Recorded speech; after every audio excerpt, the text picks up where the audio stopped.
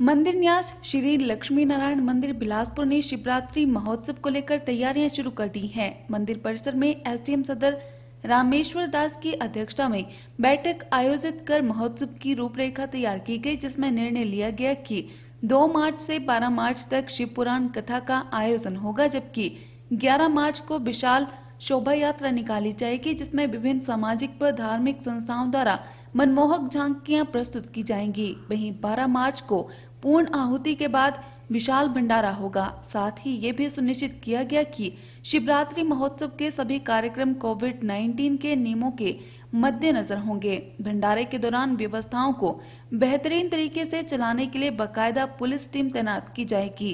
बैठक के दौरान शिवरात्रि महोत्सव को लेकर विभिन्न कमेटियों का गठन भी किया गया और सभी की ज़िम्मेदारी सुनिश्चित की गई। एसडीएम सदर रामेश्वर दास ने बताया कि इस बार शिवरात्रि महोत्सव का आयोजन मंदिर न्यास द्वारा धूमधाम से किया जाएगा, जिसे लेकर बैठक आयोजित की गई, जिसमें महोत्सव के सफल आयोजन को लेकर चर्चा की गई और उपस्थित सदस्यों के सुझाव भी लिए गए। उन्होंने बताया कि महोत्सव के दौरान जो भी कार्यक्रम होंगे, उनके कोविड 19 के नियमों को पूरा ध्यान में रखा जाएगा।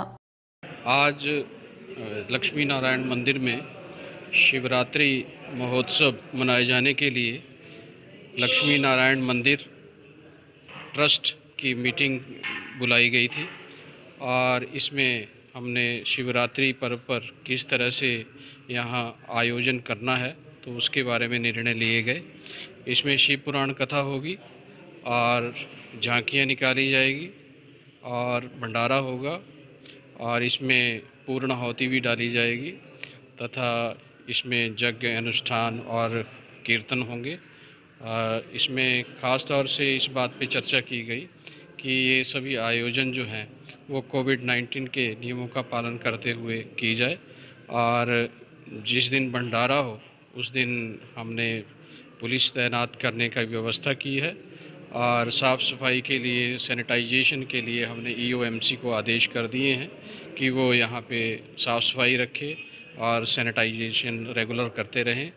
और यहाँ से जितना भी गार्बेज वगैरह है, वो यहाँ से उठाते रहें। और साथ में मंदिर की सजावट और इसमें साथ के साथ, सजावट के साथ इसको थोड़ा और इसको रेनोवेशन करने के लिए भी हमने कहा है।